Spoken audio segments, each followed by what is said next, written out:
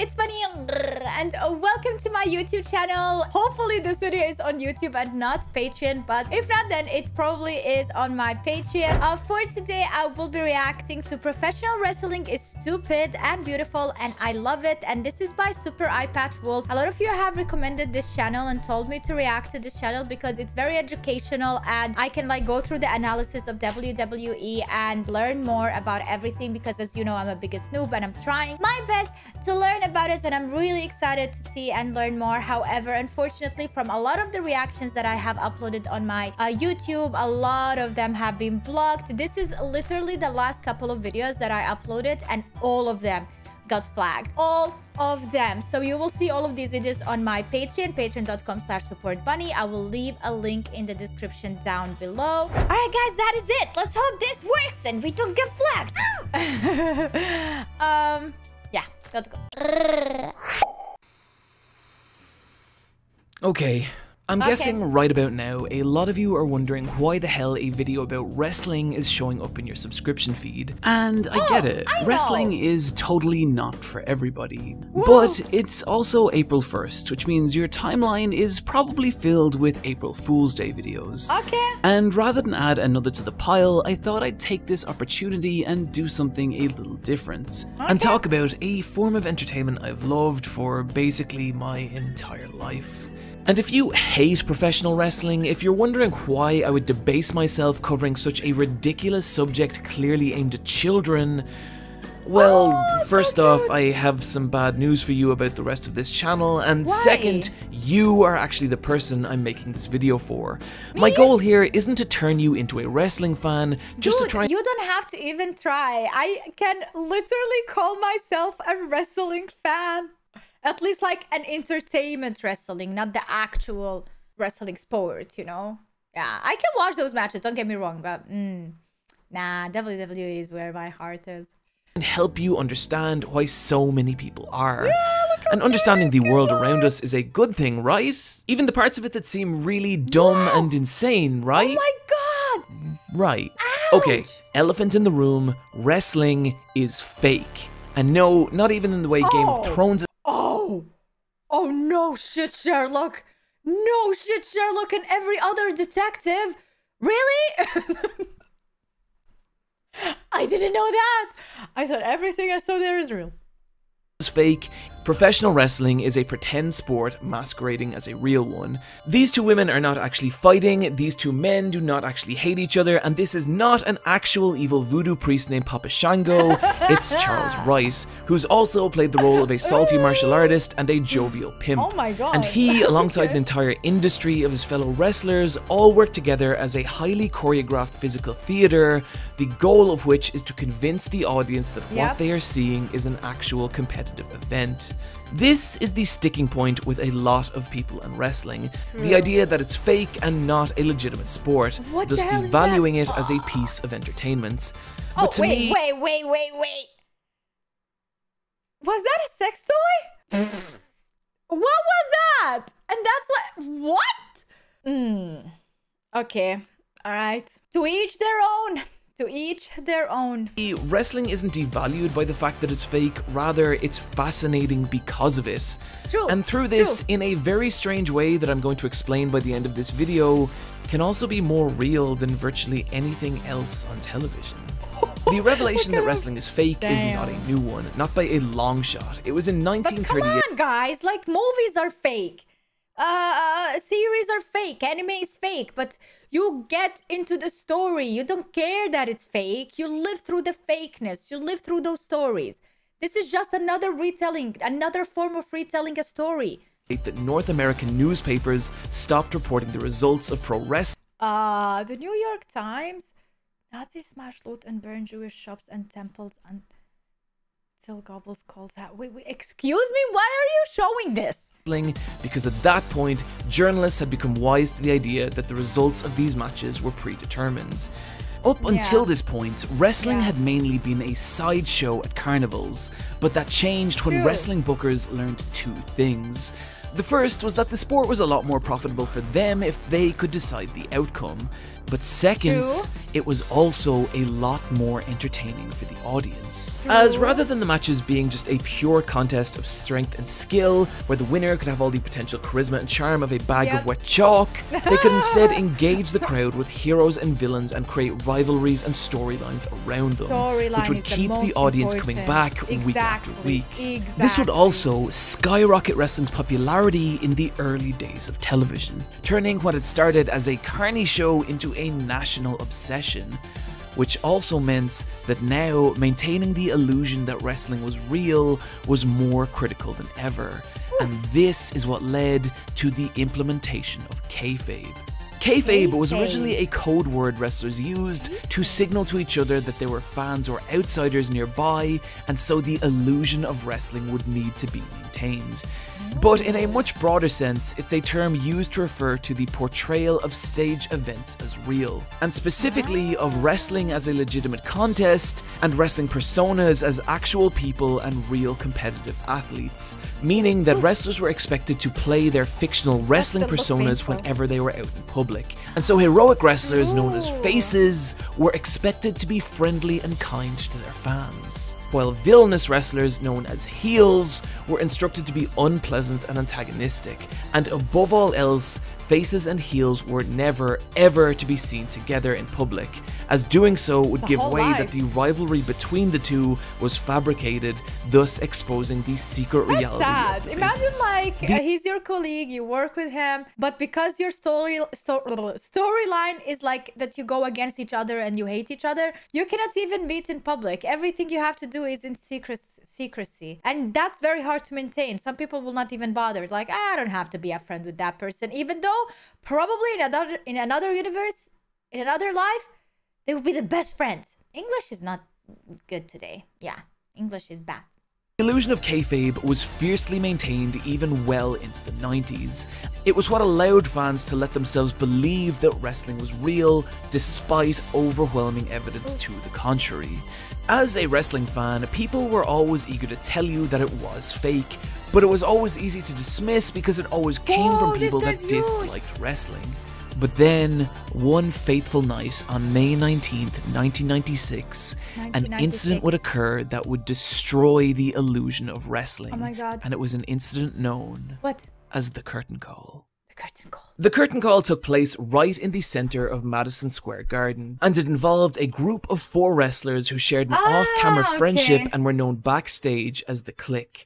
Scott Hall, Kevin Nash, Shawn Michaels, and Paul I know this. Levesque. This was the last night Hall and Nash would be Triple H. performing under the banner of WWF, and the following day would be jumping ship to rival company WCW. Michaels and Nash were bitter rivals in WWF's storyline at this point, and in the final match of the night, Michaels was set to defeat Nash in a steel cage match. But what wasn't part of the script was what came after the match's conclusion when the cameras stopped rolling when Michael straddled his unconscious opponent and revived him with a Snow White esque kiss. Fans looked on bewildered and stunned, and then, to add to the confusion, Hall and Levesque both came to the ring and the four friends celebrated an emotional farewell. The problem, though, was that this was not part of the WWF canon storyline. Not only did these four wrestlers not have an on camera friendship, they were meant to actively despise one another, with Hall and Michaels both being beloved faces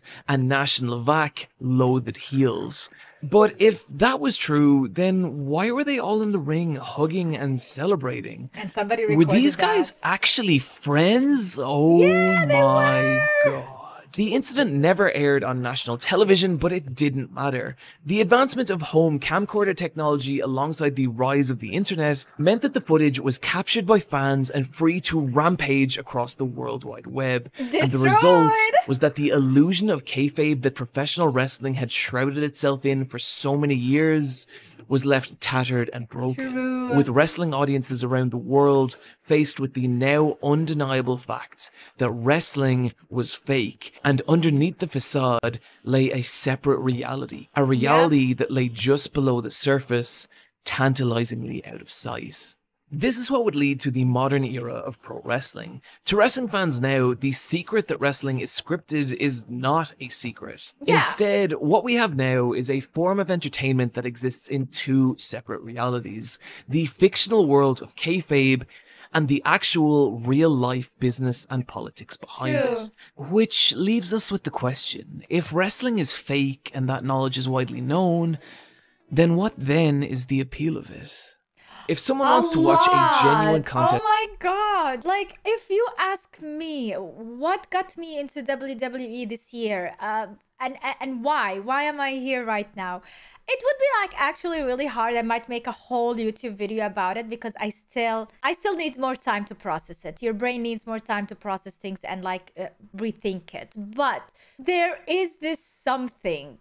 It it, it hooks you the storytelling if it is done very very well and if these personas or these people know how to act it believably you literally forget the fact that it is a fake story because you get so involved into it you get so involved into the whole timeline into the outcome. And people love to watch sport as entertainment nonetheless. Like when you watch football or any other sports on TV you are rooting for someone to win or for someone to lose. And there is that outcome in WWE as well you know? So there is always this thing that is hanging by a thread at the end and you just want to know what's gonna happen and you never know. And the good thing about WWE it's not like just a normal match with a normal ending. No this time you have plot twist upon plot twist so you never know. It's not only like who's gonna win and who's gonna lose but who's gonna screw who as well. You know what I mean? So yeah it's just that. And you fall in love with these lovable characters as well and you root for them and sometimes you have some people who you really hate and you just want them to get destroyed. And they deliver. They definitely know and they definitely deliver. But that's my opinion. Let's see what he thinks of skill and strength, then why not just go watch UFC? And the answer to that lies in the fundamental difference between the two that this is a competition and this is a story. Yep. Wrestling, like so many other forms of fiction, is about telling stories. I want you to look at these clips and forget for a moment that you're watching wrestling. Just try and imagine your own body performing these maneuvers. Think about the years of it's- training it's it would take to be able to brother. move Yeah. like this and about the timing and trust you need to have in another person Exactly. to execute these sequences. Yep. And ask yourself, what is all that effort for? What is actually being achieved here? And the answer is that they're building a narrative through the suspension of disbelief. The suspension of mm-hmm. disbelief is the simultaneous belief in two inconsistent things. Anyone who watches The Matrix believes both that we're watching a fight between Neo and Morpheus, but is aware that we're actually watching Keanu Reeves and Laurence Fishburne perform a choreographed sequence of actions being shot on a film Yeah, set. yeah. And it's the filmmaker's job to make it as easy on the audience as possible to suppress that second idea, which is why solid acting, writing, and editing is so important. because a discrepancy in any particular one could break the audience's immersion, destroying our investment in the Mm-hmm. story. But immersion is also something that's created in very different ways in different forms of art. Mm-hmm. Take the far simpler medium of rakugo.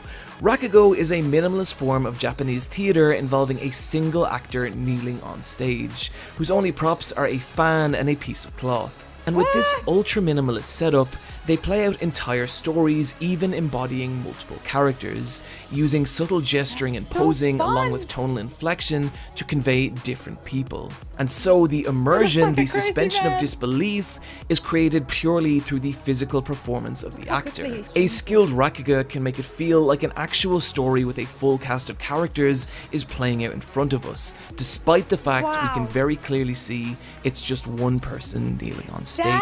Actually reminds me of audiobooks. Um, I love reading books. I love, love, love, love reading books. I have a lot of books on my shelf, if you can see. But um, I started listening to books as well on my walks. Like I like to get a 50 minute walk to one hour walk in the morning, and then I listen to a book. And if you know who to listen, like if the person that is narrating the audio, so the narrator, if that person knows the job and does it very well. They know how to narrate from different personalities in the book, if there is more than one character, of course, and if it's female to male, and how to change their tonation and uh, character and how they speak. You guys, even the accent and everything, like the dialect, it's crazy. It, it is crazy how good an audio book can be and how invested you can be in it if the person, the narrator, does a great job at telling it. If you know what I mean. Wrestling works the exact same way. Just like film, just like Rakugo, what the performers are ultimately trying to do is make us believe that what we're seeing is real. And not only just in the staged violence, but also by embodying these characters and their emotions. One of the things I love about Kanako Urai, real name to former NXT Women's Champion Asuka, is that from the moment she steps out into an arena, everything from her wardrobe to the way she walks to how she plays with the camera embodies this fascinating fictional character, a bizarre, violent person who takes distinct glee in breaking her opponents apart. And because of how good Arai is at conveying this character both through her wrestling and the subtlety of her actions, you don't see the actual performance behind it. Uh-huh. You just see Asuka, the yeah, Empress of Tomorrow. I don't know how she This is, is something that all great wrestlers do the embodiment of a fictional persona, a character. And so, all a wrestling match is, is what happens when two of these fictional characters meet at particular points in their lives and the story that unfolds through that. Granted, that might sound a little weighty, so to show this, I'd like to use an example from a match from WrestleMania 8 in the form of Rowdy Roddy Piper versus Bret the Hitman Hart. Piper was the defending Intercontinental Champion, a fan favourite, and the far more experienced of the two, while Hart was the rising new star of the company. And just watch the story that plays out between these two characters. From the outset, Piper is consistently out wrestled by Hart, having each throw and hold countered and turned back on him, to the point that it's obvious that he cannot beat Hart in a technical wrestling match, at which point Piper changes tactics, pretending okay. to show respect to Hart to lower his guard before blindsiding him with a brutal closed fist attack, and begins to decimate his younger opponents with a string of vicious illegal assaults until finally Hart, now bloody and battered, rallies, gaining a read on his opponent once again and countering so everything cool, Piper man. can throw at him. Until finally, Justice. Piper, left with no oh other God. option, knocks the referee unconscious and grabs hold of the ring bell, and is about wow. to use it to put his younger opponent away once and for all. But then there's just this beautiful little moment where Piper just stops and oh. looks at the sea of people surrounding him and is left awash in a chorus of boos, the fans disgusted by his actions. He used to be the hero in these situations. These used to be his fans. Now they're booing And in this him. moment of realization, he throws oh away oh the God, bell, and the crowd explodes at this subtle act of redemption before finally Piper is outdone one last time, accepts his defeat with grace, passing both the torch and his title and to the newer generation. There nice. is so much to this match. It's basically an entire fallen hero slash villain redemption story arc told in 16 exactly. minutes without any dialogue, exactly. purely conveyed through the physical storytelling of both Thank wrestlers. You for saying that. And I that's think exactly that's kind of incredible. From here, Piper's career would start to fade, and Bret, after years of success, would eventually find himself in a match where the roles were reversed. Ooh. Where now he was the veteran the crowd had turned against as he faced off against the new rising star of the company, Stone Cold Steve Austin. This is what professional wrestling him. is, and while it's not always good or even socially acceptable, when it's at its best, it can be exciting to funny to even of in the same way that knowing Yusuke versus Toguro is just a bunch of cells being photographed in rapid succession doesn't take away from the emotional impact of that. Okay, everything we just talked about, that's all the kayfabe side of wrestling, the fictional performance created by the wrestlers and writing staff. But as we mentioned earlier, there is another side to wrestling, and that's the actual reality behind it. True. When you begin to look into the industry of pro wrestling for long enough, a strange thing starts to happen, and that is that the line between what's real and what isn't gradually begins to blur. Yep. And you begin to see moments when the fictional world of kayfabe and the actual reality of the business begin to bleed into one another. Mm-hmm. And identifying the point where one starts and the other ends becomes nearly impossible. And to show this, we need to go back to the curtain call. The curtain call and its shattering of kayfabe was seen by many of the wrestlers and staff within the WWF as an appalling attack on wrestling. And so there had to be punishment. Someone had to pay the price for this transgression. It couldn't be either Scott Hall or Kevin Nash, as they had both already left the company. And it couldn't be Shawn Michaels because he, at the time, was the current WWF champion and already a problem in many other areas. Hmm. And so the entirety of the blame fell on Paul Levesque, an upper mid card wrestler with a lot of potential who seemed bound for greatness. And as punishment, his entire career was derailed. and he found himself at the bottom of the card once again, being forced to endure a string of humiliating losses in matches that showed him as weak and ineffective, with other wrestlers shrugging off his attacks and quickly and easily defeating him. Oh my god. Writing like this is devastating to a wrestler's career. True. It destroys the fictional credibility a wrestling persona has with the audience and therefore severely damages their ability to draw a crowd and thus earn a living wage. But this was the new reality that Levesque now faced. None of this was part of Let's the be actual honest, like he knew that he has to suffer through this uh, narrative just as a payback, of course, but he knew there will be an end to it and there will be maybe a redemption or something. Nobody would say, "Okay, yeah, let's go. Let's let's let's put my whole career downhill and never rise up again." Like, why would you go through that? WWF storyline or even mentioned on TV. From the audience's perspective, all that was happening was Levesque was a wrestler who used to win a lot and then suddenly stopped. Yeah, now, like, let's take a moment that came four years later. At this point, Levesque had sweat and bled his way back to the top of the See, card and had been reborn as title contender Triple H. And in an interview that was meant to be kayfabe, that was meant to be scripted, this happened. Hey, watch your language. What, you, you want me to shoot with this interview? I'm gonna f***ing shoot with it. It's about four years ago, Madison Square Garden. I walked to the ring to say goodbye to my friends Kevin Nash, Scott Hall, Shawn Michaels. He's calling it. Who got punished for that, JR? You did. Well, you know what? That makes me sick in my stomach. Every time I look at you guys, it makes me sick to think what you did to me, holding me back. You guys talk about being students of the game. I am the f***ing game, JR. There is nobody that eats, sleeps, or breathes this business more than me. The thing to note here is that he's referring to events that never took place in the fictional WWF storyline. Oh. He's referring to things that really happened, and so Oh yeah. ask yourself who is actually speaking here? Is it the Yeah. fictional wrestling persona Triple H?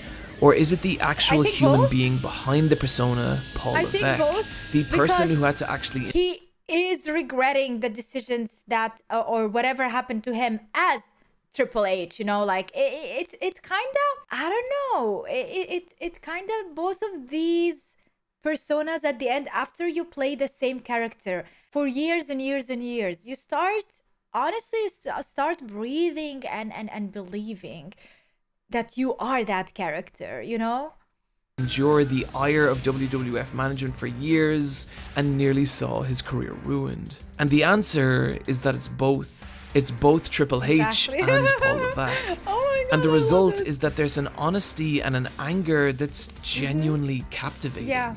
as the reality starts to fuel the fiction. Mm-hmm. And there are dozens of incidents like this that have taken place throughout the years Yeah, of wrestling. I'm sure. The Montreal Screwjob, the forced retirement and recent return of Daniel Bryan, and possibly in which former wrestler CM Punk took to a mic and verbally rended the entire WWE, laying waste to the management, his fellow wrestlers, and even his own fans. oh I'm barely promoted.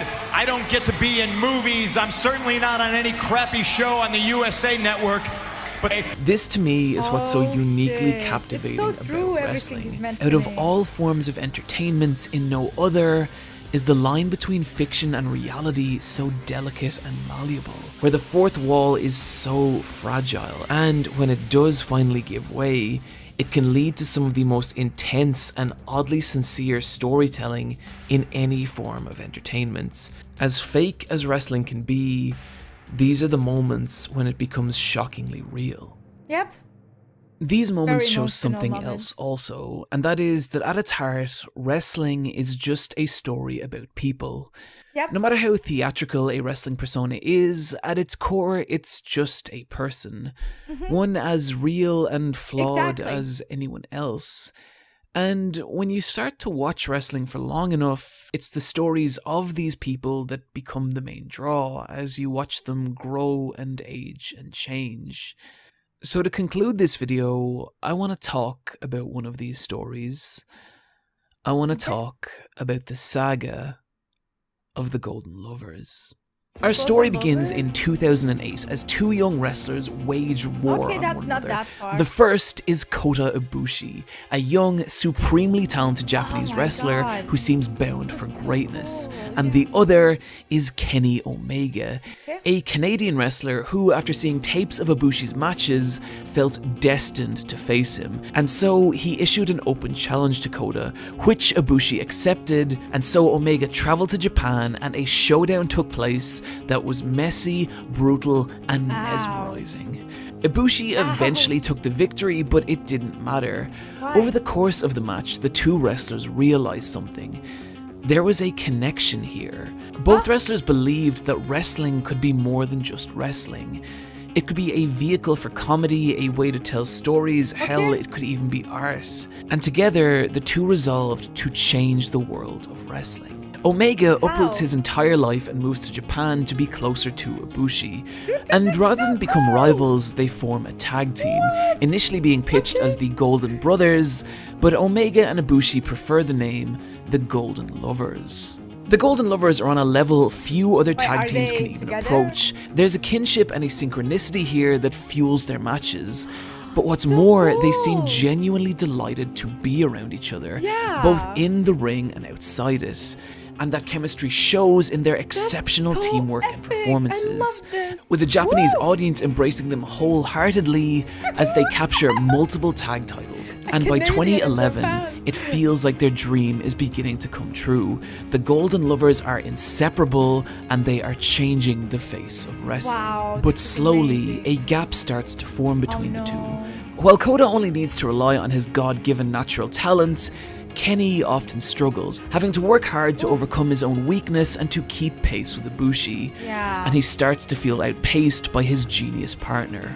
Kota's Yeah. genius doesn't go unnoticed either. He's being given more opportunities as a single wrestler, and what's more, he's winning. And with each victory, Kenny feels a little more left behind. Yeah, that's and so happened. on August 18th, 2012, after three years of partnership, the two I mean, face each other. years, and what yeah. follows is one of the most spectacular matches in history. Kota fighting for his pure love of wrestling, and Kenny desperately battling as to not be left behind by the person he cares about the most. But it's not enough. He cannot overcome the genius of Ibushi. And afterwards, both wrestlers look devastated. Kenny for the loss, and Kota for having inflicted it upon him. Over the next two years, the gap between the two would only continue to widen. Ibushi continues to rise, even going so far as to face the legendary King of Strong Style Shinsuke Nakamura. But meanwhile, Kenny struggles without his former partner, gaining only modest wins and racking up several major losses, including one especially crushing defeat at the hands of Prince Devitt, a member of the villainous Bullet Club, a vicious faction of American wrestlers who spit in the face of Japanese pro wrestling, overwhelming opponents with their superior numbers and brutal tactics. And the experience changes Omega. He can't help feel that now, without Ibushi by his side, he is alone. But Devitt has an entire army of allies behind him, and so a realization dawns on him. Maybe with the Bullet Club, he could finally become strong enough to stand as an equal with. Ibushi. And so, two weeks later, he emerges as their newest member. And it works. He wins and he keeps winning. Until the day finally comes when his mentor and leader of the Bullet Club, AJ Styles, faces Kota for the IWGP Heavyweight Championship. In typical Bullet Club fashion, Kenny was expected to sabotage Ibushi, but he can't. He holds back for the entire match until its final moments, when Ibushi scales the turnbuckle and is seconds from victory, only to turn his head and see Kenny standing on the ring apron, and the two lock eyes. And Kenny becomes paralyzed between his loyalty for the Bullet Club and his feelings towards his former partner, and so fails to act. But this momentary distraction is just enough time for Styles to recover, and he counters Ibushi's attack for a crushing comeback oh, defeat. Afterwards, Omega is visibly shaken, while Ibushi lies devastated both by the loss and the betrayal of his former partner. Not long after, Ibushi disappears from the Japanese wrestling scene, while Omega only continues to grow more ruthless, vicious, and victorious and he begins to dominate New Japan, shrouding himself in the indestructible armor of the Bullet Club and even deposing Styles as its leader, taking the crown for himself. This new invincible Kenny Omega even makes it to the very final of the G1 Climax, the most elite wrestling tournament in the entire world. But his conquest has taken its toll, and he enters the match battered and exhausted, facing the immovable and dangerous Hirooki Goto, who punishes Omega again and again, Whoa, constantly yeah. pushing him to the brink of defeat. And as the light of victory begins to fade away, Omega reaches deep down inside himself, and what he finds is his old partner Ibushi, whose finisher, the Shining Star Powerbomb, he uses in a final sequence of moves to overcome Goto and take the win. And so finally, he's done it. He's the best in the world. Yes! But without Ibushi by his side, how much does it actually mean? Matter, doesn't This inner matter. conflict is only made worse when a year later Omega suffers a crushing loss in the finals of the same tournament. And afterwards, backstage, comes face to face with Ibushi for the first time since his betrayal. And Ibushi reaches out to comfort Omega, but Kenny cannot accept it. Things have gone too far. It's too late. And slowly, the unbreakable armor Omega has surrounded himself in begins to crack and crumble. And sensing weakness, the other members of the Bullet Club begin to turn on him, Oh. with the American Nightmare Cody Rhodes using his feelings for Ibushi as a weapon against him, culminating in a savage attack on Kota, only to have Omega furiously defend his former partner. Yes! This eventually leads to the Bullet Club turning on Kenny, destroying him with a vicious assault, only for Ibushi to run to the ring and save his former partner. And then, in a moment that's been 10 years in the oh oh making, the two finally just stand in the ring and face one another. Ah, Ibushi, desperate to reform their partnership. But it's just too late. No! Too much has happened and the scars run too deep. Omega cannot accept his former partner. Until He does. He makes him. After a story 10 years in the making, the Golden Lovers are reunited. What's so incredible to me about the saga of the Golden Lovers is that it's a story that could only really occur in wrestling. One that's about two people who felt a connection and formed something beautiful, only to later be torn apart by the different directions life pulled them in, and then finally, years later, to realize what really mattered. And what's more, identifying making, what's okay? real here and what isn't isn't is nearly impossible. Omega was genuinely a young wrestler who was inspired by a videotape of Ibushi. Ibushi's talent did outshine Omega, and the two were genuinely caught between their love of competing together and their aspirations as single wrestlers. Yep.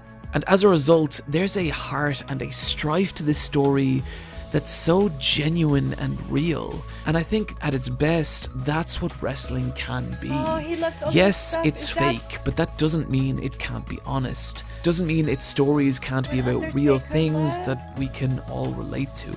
This is why I'm still a fan, why Yeah. so many people are, and why I think at least that professional wrestling is fascinating. It is. Woo! Thank you for this amazing, amazing video. Made me cry. Made me happy. Made me feel so many emotions. The editing of the video as well. How he's speaking about it, everything. It's so amazing. I look forward in the future to be able to make videos like that as well. I'm, I'm just learning still. But hopefully in the future I'll be able to produce higher content and higher quality content for you guys. But I do need your support for that. Make sure to like this video guys. Liking it is so, so, so important. Add it to a WWE play playlist of your favorite videos. Uh, somehow that works for the algorithm and for new people to check out your playlist and check out me and find me among your favorite uh, content creators out there for WWE. Also, comment down below what other videos you would like me to react to. And if you haven't seen this video on YouTube and you're on Patreon, welcome to my Patreon. Thanks so much for being a part of my Patreon. But if you're watching this on YouTube, go and check it out. Patreon.com slash support bunny. Thank you for watching this with me and sharing this whole amazing video, this kind of a documentary video where we learned a lot about wrestling and why we love it. And I agreed so many times with the guy speaking, and he agreed with me as well. So I love it. I really, really love everything about it. Thank you for watching. Have a wonderful day, and see you hopefully tomorrow with a brand new video, unless YouTube finds it. Bye!